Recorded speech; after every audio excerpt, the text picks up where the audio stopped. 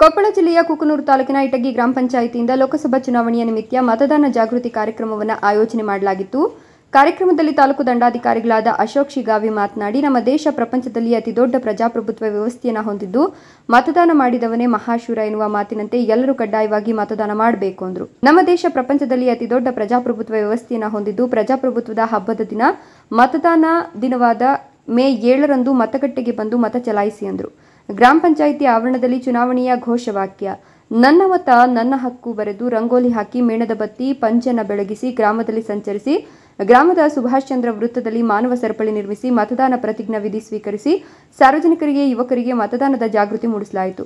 ಕಾರ್ಯಕ್ರಮದಲ್ಲಿ ಸಹಾಯಕ ನಿರ್ದೇಶಕರು ಹಾಗೂ ಗ್ರಾಮ ಪಂಚಾಯಿತಿ ಅಭಿವೃದ್ಧಿ ಅಧಿಕಾರಿ ಶರಣಪ್ಪ ಕೆಳಗಿನಮನಿ, ಕಾರ್ಯದರ್ಶಿ ಮನು ಚೆಟ್ಟಿ, ತಾಲೂಕು ಐಇಸಿ ಸಂಯೋಜಕ ಲಕ್ಷ್ಮಣ ಕೆರಳ್ಳಿ, ಎನ್ಆರ್ಎಲ್ಎಂ ಸ್ವಸಹಾಯ ಸಂಘದ ಎಂಬಿಕೆ ಯಲ್ಲಮ್ಮ ಕೌದಿ ಸಂಜೀವಿನಿ ಒಕ್ಕೂಟದ ಅಧ್ಯಕ್ಷರಾದ ಪುಷ್ಪಾ ಮುದ್ದಬಳ್ಳಿ, ಆಶಾ ಮತ್ತು ಅಂಗನವಾಡಿ ಕಾರ್ಯಕರ್ತೆಯರು ನರೇಗಾ ಯೋಜನೆಯ ಮೇಟ್ಗಳಾದ ರಾಜೇಶ್ವರಿ ಹಿರೇಮಠ, ಹಿರಿಯಪ್ಪ ನೀಲಣ್ಣನವರ್, ಹೇಮವ್ವ ಚನ್ನಬಸಪ್ಪನವರ್, ಬಿಲ್ ಕಲೆಕ್ಟರ್ ರಮೇಶ್ ಬಾರಕೇರ, ಗ್ರಾಮ ಪಂಚಾಯಿತಿ ಸಿಬ್ಬಂದಿ ವರ್ಗದವರು ಸಾರ್ವಜನಿಕರು ಹಾಜರಿದ್ದರು.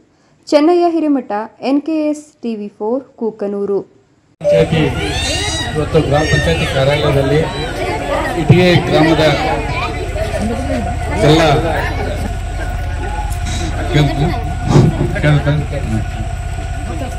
ಎಲ್ಲ ಸ್ತ್ರೀ ಶಕ್ತಿ ಸಂಘದವರ ವತಿಯಿಂದ ಹೆಚ್ಚಿನ ಒಂದು ಸಂಖ್ಯೆಯಲ್ಲಿ ಮಹಿಳೆಯರು ಈ ಒಂದು ಸ್ವೀಪ್ ಕಾರ್ಯಕ್ರಮದ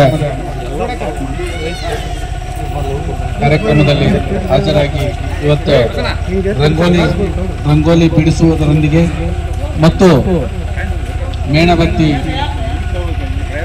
ದೀಪವನ್ನು ಉರಿಸುವುದರೊಂದಿಗೆ ನಾವು ಮತದಾನದ ಜಾಗೃತಿಯನ್ನು ಮಾಡ್ತಾ ಇದ್ದೇವೆ.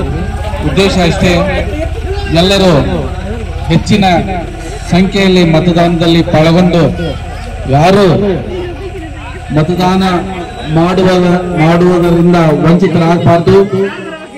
ತಮ್ಮ ಒಂದು ಮತ ಅತ್ಯ ಅಮೂಲ್ಯವಾದದ್ದು.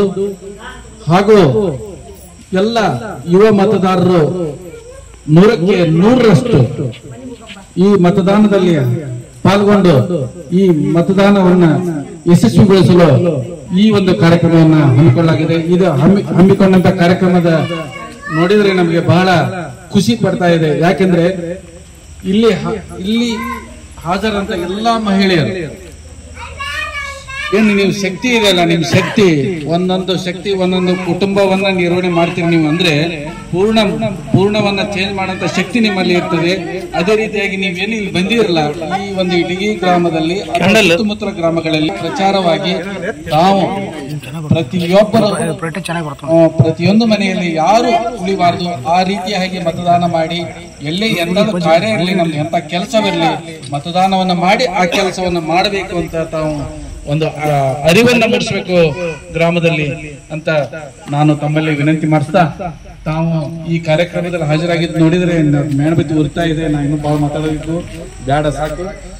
ನನಗೆ ಬಹಳ ಹೆಮ್ಮೆ ಅನಿಸ್ತಾ ಇದೆ, ನೀವು ಇಷ್ಟು ಗುರುಪ್ಲೆ ನೀವು ಈ ಕಾರ್ಯಕ್ರಮಕ್ಕೆ ಹಾಜರಾಗಿರಂದ್ರೆ ನೀವು ನೀವು ನೂರಕ್ಕೆ ನೂರಷ್ಟು ನೀವು ಮತದಾನ ಮಾಡಿಸ್ತೀರಿ.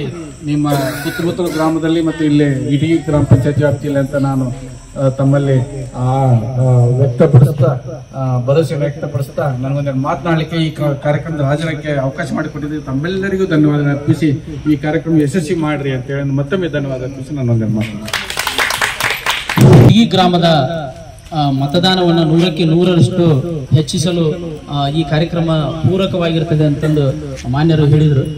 ಜೊತೆಗೆ ಇವತ್ತಾಗಲೇ ನಾವು ಏನು ಕಾರ್ಯಕ್ರಮ ಮಾಡ್ತಾ ಇದ್ದೀವಿ ಇದು ಎಲ್ಲರಿಗೂ ಕೂಡ ಹಿಂದಿನ ವರ್ಷದಿಂದಲೂ ಕೂಡ ನಾವು ಮಾಡ್ತಾ ಇದ್ದೀವಿ. ಆ, ಇದೇ ರೀತಿಯಾಗಿ ಹಿಂದಿನ ವಿಧಾನಸಭಾ ಚುನಾವಣೆಯಲ್ಲೂ ಕೂಡ ತಾವೆಲ್ಲರೂ ಭಾಗಿಯಾಗಿ ಹೆಚ್ಚಿನ ಮತದಾನಕ್ಕೆ ಕಾರಣ ವಾದರಿ ಅಂತಂದು ಎಲ್ಲರಿಗೂ ಕೂಡ ನಾನು ಧನ್ಯವಾದಗಳನ್ನು ಅರ್ಪಿಸ್ತಾ ಇದ್ದೀನಿ.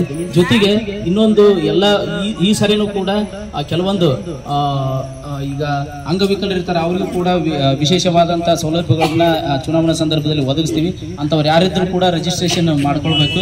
ಜೊತೆಗೆ ಹಿರಿಯ ಮತದಾರರು ಅಂತಂದು ನಾವೀಗಾಗಲೇ ಕೆಲವೊಂದು ಗುರುತಿಸಿ ರಿಜಿಸ್ಟ್ರೇಷನ್ ಮಾಡ್ಕೊಂಡಿವಿ. ಅವರಿಗೆ ಮನೆ ಮನೆಗೆ ಕೂಡ ಬರ್ತಕ್ಕಂಥ ವ್ಯವಸ್ಥೆ ಐತಿ. ಅಲ್ಲಿನ ಊಟ ಓಟನ್ನ ಪಡ್ಕೊಂಡು ಓಟ್ ಮಿಸ್ ಆಗಬಾರ್ದು ಅನ್ನೋ ಕಾರಣದಿಂದ ಎಲ್ಲಾ ಸೌಲಭ್ಯಗಳನ್ನು ಸರ್ಕಾರ ಒದಗಿಸಲಿಕ್ಕೆ ಪ್ರಯತ್ನ ಮಾಡ್ತಾ ಇದ್ದು, ಅವೆಲ್ಲ ಸಭೆಗಳಿಂದಲೂ ಕೂಡ ನಮ್ಮದು, ನಮ್ಮ ಗ್ರಾಮ ಪಂಚಾಯತಿ ಸ್ವಲ್ಪ ಹೆಚ್ಚಿನ ಮಟ್ಟದಲ್ಲಿ ಹಂಡ್ರೆಡ್ ನೂರಕ್ಕೆ ನೂರ ನೂರರಷ್ಟು ಪ್ರತಿಶತ ಏನು ವೋಟಿಂಗ್ ಆಗ್ಬೇಕನ್ನೋದು ಏನೈತಿ, ಅದು ಸಾಧನೆ ಆಗಲಿ ಅಂತಂದು ಹೇಳಕ್ ಇಷ್ಟಪಡ್ತೀನಿ.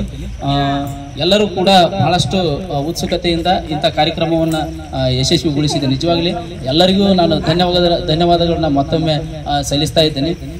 ಜೊತೆಗೆ ನಂತರದಲ್ಲಿ ಈ- ಇವಾಗ ಇವಾಗ ಒಂದು ಪ್ರಮಾಣ ವಚನವನ್ನ ಆ, ಬೋಧನೆ ಲಕ್ಷ್ಮಣ್ ಅವರು